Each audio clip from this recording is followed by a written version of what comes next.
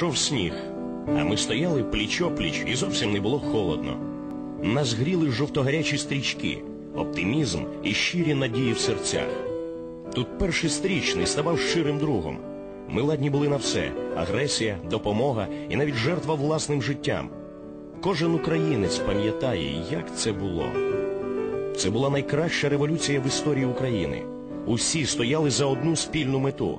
Віра людей була настільки сильною, що відступили навіть продумані піар-технології.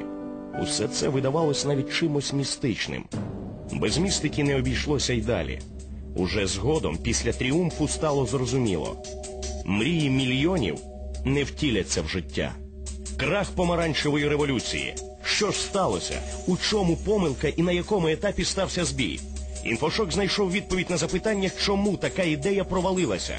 Політологи висували безліч теорій, звинувачення сипалися на політиків, мов град. А дарма. Варто тільки як слід придивитися. Саме цей символ відбився в очах і серцях революціонерів. Підкова стародавній магічний знак, що є символом благодаті. З давніх давен вважали, що підкова на дорозі на щастя. За обрисом вона нагадує посудину, глечик, символ достатку. У підкові глечикові ліпше зберігалося добро, тому прибивали її над дверима лише ріжками догори. Лише в такому положенні підкова є потужним магічним артефактом. Щойно її кінці опустити долу, позитив стає джерелом негативної енергії. Формы, связанные с острыми углами, с какими-то выступающими резко частями, а, они, им приписывается такое э, как бы действие, влияние, что а, они создают течение такой остро направленной негативной энергии. Головна хиба помаранчевої революції неправильне використання такого потужного символу підкови. Як наслідок, усе, що могло в ній накопичитися і принести пожиток Україні, просто перекинулося і витекло в нікуди. Стоит с уважением относиться тем суевериям, к которым вы привыкли. И отбрасывать их так вот очень легко и просто не стоит. Э, Почему? Потому что вы можете сколько угодно говорить рационально, ну я в это не верю, Э, в подсознание так легко не достучаться. Україна не єдина, хто став заручником магічних артефактів. Ці символи нової Німеччини впізнає кожен. Гітлер розумів, щоби зробити справді щось велике, однієї логіки та розуму замало. Тому оточив себе потужними символами. Ось цей нацистський хрест, що його Гітлер запозичив у магії Вуду та єгипетської релігії, мав означати неперервний рух до перемоги. Цим хрестом він переможно прокотив усією Європою, аж доки хрест потрапив на слов'янську землю.